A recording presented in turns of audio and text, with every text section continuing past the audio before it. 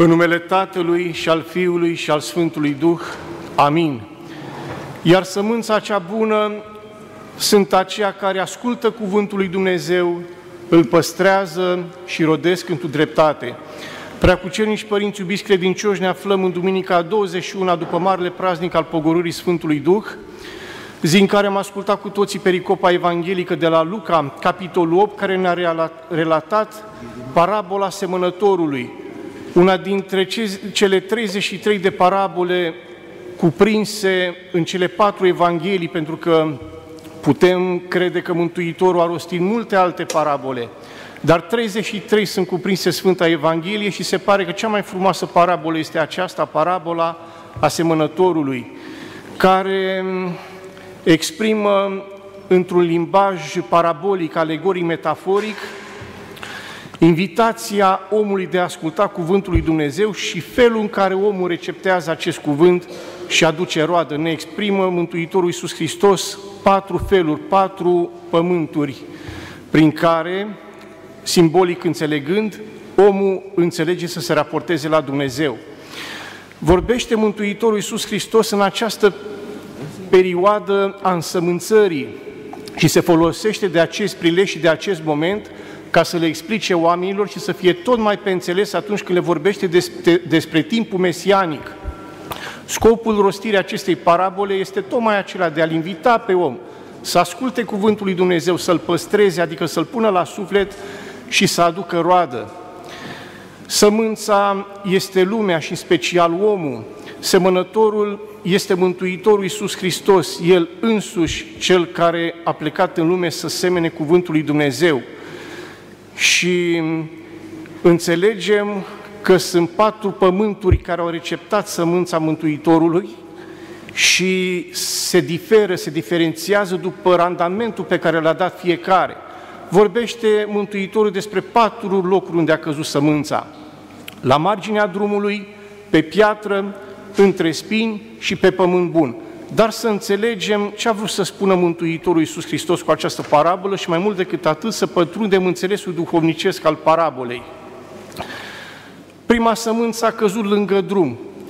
Reprezintă pe aceia care sunt înșelați de diavol, pe aceia care ascultă cuvântul lui Dumnezeu, dar precum spune cuvântul Mântuitorului care el însuși tâlcuiește acest aspect, aud cuvântul, dar vine diavolul și le răpește cuvântul din suflet, ca nu cumva astfel să creadă și astfel să se mântuiască. Înțelegem că aceștia despre care vorbește Mântuitorul Iisus Hristos sunt aceia care ascultă cuvântul lui Dumnezeu, dar pun urechea la ce spune diavolul și astfel sunt determinați să trăiască în neascultare, chiar în răzvrătire, în nelucrare, să nu adopte despătimirea și lucrarea pentru mântuirea lor. Chiar dacă se vorbește despre pocăință, aceștia nu înaintează pe această cale a pocăinței, rămân doar la treapta de conștientizare, dar nu merg mai departe să pună început bun și să lucreze cu adevărat lucrarea mântuitoare. De ce? Că vine diavolul și le ia din minte această sămânță și ei rămân în această stare de pasivitate și de nelucrare. Călcarea în picioare a sămânței căzută pe drum reprezintă nesocotirea poruncilor lui Dumnezeu, iar păsările cerului care vin și mănâncă această sămânță reprezintă duhurile rele în răutatea lor, care caută să abată pe om de la lucrarea mântuirii și chiar nu greșesc dacă spun chiar să înghită pe oameni, în sens figurat, bineînțeles, după cuvântul apostolului care spune că diavolul răgnește ca un leu căutând pe cine să înghită. Aceia care sunt conștiincioși și aud cuvântul lui Dumnezeu și îl pun în practică, fericiți sunt, dar aceia pentru care cuvântul lui Dumnezeu le trece pe la ureche, aceștia sunt aceia pentru care sămânța nu înseamnă mare lucru. De ce? Pentru că nu au preocupări duhovnicești, nu sunt interesați de calea mântuirii și nu au plecat în căutarea lui Hristos, așa cum foarte frumos se spune rugăciunea catistului Mântuitorului Iisus Hristos. O sămânță spune că a căzut pe piatră, reprezintă pe aceia care cad de la prima ispită, care aud cuvântul lui Dumnezeu cu bucurie și dau seama de sublimitatea cuvântului lui Dumnezeu, dar n-au statornicie. Cum vine prima ispită și prima încercare, se leapădă de credință. vorbim despre o credință șovăielnică, de o credință chiar manipulabilă, nestatornică. Oamenii aceștia nu sunt statornici în hotărârile pe care le iau. Și această uh, determinare a omului ca să fie nestatornic determină pe unei Sfinți Părinți să-i numească oameni care nu sunt ancorați în biserică, în viața bisericii, oameni fără rădăcini. Așa cum foarte frumos spune Părintele Dumitru Popescu, marele teolog și academician ucenicul Părintului Dimitrie Stăniloae, în cartea sa Omul fără rădăcini. Om care este credincios doar de conjunctură, cum am spune noi, doar de sărbători, de Paște și de Crăciun. Acest om nestatornic nu-L caută pe Dumnezeu. Sunt unii care la fel ascultă cuvântul lui Dumnezeu și, cre- și cu bucurie îl primesc. Sunt aceia despre care Mântuitorul spune că reprezintă, mă rog, categoria seminței care a căzut între spini. Oamenii ascultă cuvântul lui Dumnezeu, dar sunt puși să aleagă între patimă și Hristos. Și unii din nefericire, chiar dacă conștientizează că Hristos este bun, este mântuitor, este milostiv, de plinătatea tuturor atributelor sănătoase pentru om, preferă patima, aleg patima de ce? Că sunt înnăbușiți de patim precum sămânța de spini și nu pot avea o vedere duhovnicească, o vedere limpede, o alegere sănătoasă, pentru că refuză, precum v-am spus și aceștia, refuză lucrarea, refuză efortul duhovnicesc și, în definitiv, refuză lucrarea mântuirii. Pentru că e o vorbă foarte frumoasă și sănătoasă. Iadul este pardosit cu intenții bune, într-adevăr, și spune Mântuitorul Iisus Hristos, nu cel ce îmi spune mie, Doamne, Doamne, va intra în împărăția lui Dumnezeu și acela care va face voia Tatălui meu celui din ceruri. Deci Hristos ne cheamă la stare de lucrare și de osteneală ca să dobândim împărăția lui Dumnezeu, căci împărăția lui Dumnezeu se ia cu asalt și fericiți sunt aceia care o dobândesc. Spune Mântuitorul, sunt puțini aceia care o dobândesc. Acum, uitați-vă și dumneavoastră și faceți un raport, pentru că vorbește Mântuitorul și despre sămânța cea bună a oamenilor în sufletul cărora a adus roadă cuvântul lui Dumnezeu. Doar o pătrime din oameni se pare că ascultă cuvântul lui Dumnezeu și îl pun în lucrare. Pentru că oamenii aceia, a categoria celor despre care spune Mântuitorul Iisus Hristos, că sunt ca niște semințe înăbușite de spinii patimilor, sunt oamenii care gândesc frumos, oamenii care vorbesc frumos, dar nu sunt oamenii care fac ceea ce trebuie. Deci de la vorbă până la faptă este o mare diferență și această diferență face diferența dintre iad și rai. Cei care gândesc frumos, care vorbesc frumos, e lucru oare sănătos? Foarte sănătos, dar nu suficient. Până nu ajungem să punem toate darurile lui Dumnezeu în lucrare, să, să fim sămânța cea bună, nu ne putem mântui. Sămânța cea bună, da, este categoria celor care ascultă cuvântul lui Dumnezeu și îl pun în lucrare. Nu sunt lăsați amăgiți de diavol, nu sunt lăsați amăgiți de patim, pentru că lucrează despătimirea și astfel se hotărăsc cu toată inima să rămână cu Hristos. Observați începutul bun. A doua treaptă a pocăinței după conștientizare. Prima este conștientizarea, a doua începutul bun și a treia lucrarea. Ei, cei care reprezintă sămânța cea bună sunt creștinii care și-au un serios numele de creștin și chemarea pe care le face Dumnezeu la mântuire și pornesc la lucrare. Aceasta este categoria oamenilor duhovnicești, căci aceea cu inimă curată și bună reprezintă expresia sufletului duhovnicesc, a omului duhovnicesc, așa cum ne învață Marele Apostol Pavel când citim la Corinteni, făcând distinție între omul firesc și omul duhovnicesc omul trupesc, aș spune eu, ca să fiu un pic mai pănțeles, și omul duhovnicesc care percepe pe cele ale Duhului. Pentru omul trupesc, a cărui existență se restrânge doar la nivelul trupesc, la pântece, ca să zic așa, doar cele care țin de pântece și de împlinirea poftelor, cele ale Duhului să par nebunie. De ce? Pentru că nu le înțelege. Omul trupesc nu poate să pătrundă tainele lui Hristos, pe când omul duhovnicesc, care are o vedere duhovnicească, care are o conștiință duhovnicească lucrată și modelată de-a lungul anilor, acela privește dincolo de ceea ce înseamnă trupe și material și unuia ca acestea Dumnezeu îi descoperă, îi revelează tainele sale dumnezeiești. Deci, cum spune Marele Apostol Pavel, omul duhovnicesc le pricepe pe cele ale Duhului și noi suntem chemați să le pricepem pe cele ale lui Dumnezeu căci de cele ale lumii suntem sătui. Câtă răutate, cât necas, câtă durere și suferință pricinuiește omului această nebuloasă care în loc să-L aleagă pe Hristos, să-i fie bine, să se mântuiască, să se liniștească și în sufletul său să dobândească pacea lui Hristos. Pacea mea vă dau vouă, nu aceea pe care vă dă vouă oamenii.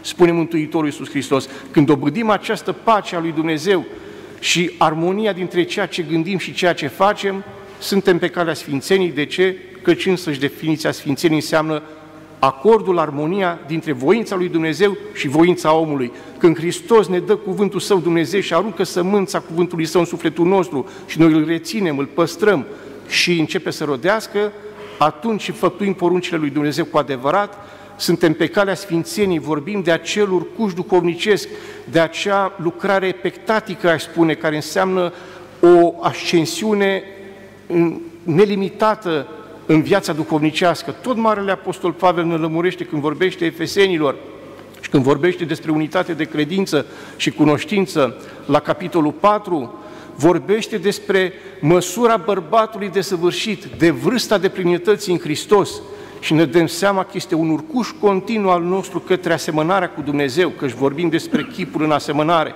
Peste tot auzi, pe la televizor și în ziare, peste tot, uh, expresii de genul cu tare după chipul și asemănarea celuilalt, sau mă rog, nu știu despre ce e vorba. Chipul se referă, chipul lui Dumnezeu în om se referă la suflet, iar când vorbim de asemănare, ne referim la efortul, la lucrarea pe care o săvârșește omul în a asemăna cu Dumnezeu. Nu spunem noi în a egala pe Dumnezeu, că nu avem cum. Vom pătrunde în cunoașterea lui Dumnezeu o veșnicie și nu-L vom putea cunoaște în întregime pe Dumnezeu, că este Dumnezeu atotputernic și nelimitat, veșnic și infinit, dar avem această posibilitate, această chemare de a ne îndulci în persoana cristică, de a urca din putere în putere și de a avea acest urcuș duhovnicesc perpetu cât putem și cu darul lui Dumnezeu, dar mai ales cu lucrarea și cu efortul nostru, că și fără efortul și fără lucrarea noastră nu putem avea această ascensiune treaptă cu treaptă către împărăția lui Dumnezeu. Dacă vorbesc cu unii așa precum spune Mântuitorul în sămânța care a căzut la marginea drumului, pe pământare și n-am colțit. Găsesc oamenii fel de fel de justificări, că Mântuitorul Hristos a vorbit acum mai bine de 2000 de ani, s-a adresat acelor oameni, nu noi, nu noi suntem vizați, nu eu sunt vizat, sau poate eu sunt un drept, eu fac numai bine, poate alții păcătoși să facă pocăință, să se nevoiască.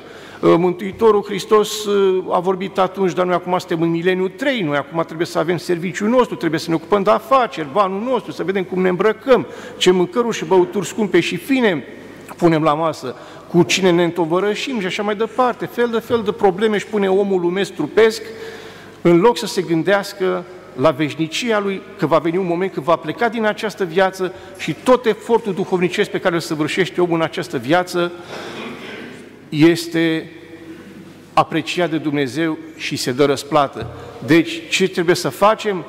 Să desăvârșim chipul lui Dumnezeu în asemănarea cu Dumnezeu. Ne-a dat Dumnezeu acest suflet, această putere, această comoară existențială, noi să o desăvârșim, să o aducem pe când ne este nouă cu putință în asemănarea cu Dumnezeu, adică în săvârșirea binelui. E, în acest context de roadă bună adusă și de unitatea de credință și de cunoaștere, în chip deosebit cinstește astăzi Biserica pe părinții participați la Sinodul 7 Ecumenic de la Nicea în 787. Poate unii dintre dumneavoastră știți că s-a mai vorbit despre disputa iconoclastă, o mare erezie care se manifesta împotriva Sfintelor Icoane. Ne aducem aminte de mahrama Sfintei Veronica atunci când Mântuitorul, Mântuitorul Hristos își purta crucea și era pe drumul crucii, drumul suferinței, a venit Sfânta Veronica și l-a șters pe Mântuitorul Iisus Hristos de sudoare și a fost imprimat chipul Mântuitorului, prima icoană creștină am putea spune. Apoi ne gândim la icoana Maicii Domnului, primul care a pictat icoana Maicii Domnului cu pruncul este Sfântul Apostol și Evanghelist Luca. Deci ne dăm seama că încă din zorii creștinismului această lucrare mântuitoare prin harul ce izvorăște din Sfintele Icoane s-a dezvoltat în lume, mai ales vorbind de revirimentul um, iconografic care a luat amploare în timpul împăratului bizantin Justinian, secolele 5-6, cel care a fost titorul Catedralei Sfinte Sofia din Constantinopol, este trecut în rândul Sfinților pentru credincioșia de care a dat dovadă și în timpul său a fost acest reviriment iconografic, fapt care a încins mințile multor nepricepuți sau oameni trupești sau neiluminați de Harul lui Dumnezeu, fără vedere duhovnicească, să, cutează, să cuteze a afirma că icoana este idol și că nu trebuie să ne închinăm la icoane, că sunt idoli și vă dați seama că ce a urmat de aici, foarte mulți ă, și chiar împărați au fost care au promovat această mișcare eretică. Leon al III-lea Isaurul și fiul său Constantin al V-lea Copronimul au declanșat o mare prigoană împotriva Sfintelor Icoane și a iconodulilor, adică a celor care venerau Sfintele Icoane. Și vorbim de faptul că au dat edicte prin care se interzicea cinstirea Sfintelor Icoane, au fost scoase icoanele afară din biserică, afară din casele creștinilor, duse în piața publică și incendiate, iar cei care se închinau icoanelor erau persecutați și omorâți. Și mi-aduc aminte cu drag, mergând și vizitând Sfântul Munte Atos, de icoana Portărița, care tot așa era în casa unei bătrâne văduve din Constantinopol, care avea un fiu și s-a trezit cu ostașii pe capul ei și a zis, dă-ne această icoană, că avem poruncă să o ducem, să o ardem. Și a zis, i-au zis soldații, da, dacă ne dai bani, închidem ochii și nu-ți facem nimic. Și femeia a zis, da, veniți mâine că acum n-am bani și mâine vă voi da bani, dar lăsați-mi icoana în casă că este viața și sufletul meu. Și într-adevăr că soldații au venit a doua zi de această maică și a trimis fiul să meargă în Sfântul Munteatu, să devină călugăr, să slujească întreaga viață lui Dumnezeu, deși prevedea că zilele sale s-au terminat. Și cu icoana a aruncat-o, a lăsat-o pe apă, și a doua zi când au venit soldații și s-au simțit înșelați și icoana dispărută, au omorât-o pe această văduvă. Iar icoana a mers pe apă până în dreptul Sfântului Munte, la mănăstirea Iviron, cei care ați fost, ați văzut că mănăstirea Iviron este la mare, și acolo călugării care noaptea vedeau un stâlp de foc ce unea cerul cu pământul, se gândeau ce comoară să fie, ce semn de la Dumnezeu să fie aceasta. Și ziua când s-au apropiat, au văzut această icoană, s-au suit în bărci, ca să înainteze și să ia icoana, să o aducă în biserică, dar icoana pe măsură ce se apropiau se depărta. Și atunci s-au rugat la Dumnezeu și au făgăduit, Maică Sfântă, vrem să te aducem la noi în mănăstire și o să-ți facem un paraclis și o să te păzim. Și a vorbit icoana și a zis, nu, că n-am venit voi să mă păziți pe mine, am venit ca eu să vă păzesc pe voi, dar să fiți în Duhul Fiului meu și al Mântuitorului Iisus Hristos. Și s-au legat cu jurământ de azi înainte să respecte legea lui Dumnezeu și tot mai multă nevoință și pocăință să facă și astfel Maica Domnului s-a lăsat înduplecată și a venit, s-a apropiat, au luat călugării și cu mare cinste o cinstesc și astăzi și noi pelerinii care vom pleca mâine în Sfântul Munte Atos, vom ajunge și la Mănăstirea Ibiron, acolo în Paraclis, unde ne vom închina icoanei Portărița. Și câte și câte astfel de, să zic, întâmplări miraculoase prin care multe din Sfintele icoane au fost, rămase pe, au fost lăsate pe apă și au ajuns fie în Sfântul Munte Atos, fie în alte locuri. Dar lucrurile s-au mai ameliorat în zilele împăratului Leon al IV-lea Cezarul, pentru că aceasta, acesta avea o soție Irina din Atena și era iconodulă, adică cinstea Sfintele Icoane, și l-a determinat pe împărat să înțeleagă adevărul de credință, cum că icoanele sunt izvorătoare de har, și mântuitoare prin uh, rolul lor duhovnicesc, mântuitor haric.